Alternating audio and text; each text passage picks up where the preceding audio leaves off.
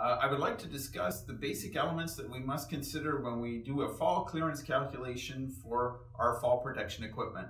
The first element that we must consider is uh, from the anchor point, the length of our connecting device. In this example, a six foot lanyard.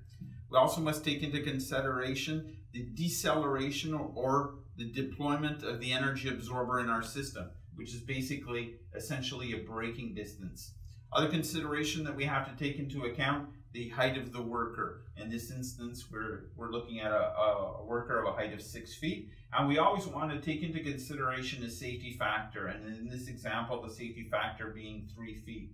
So essentially the four elements, the length of our connecting device, the deceleration distance, the height of the worker, and as well as we take into consideration the safety factor.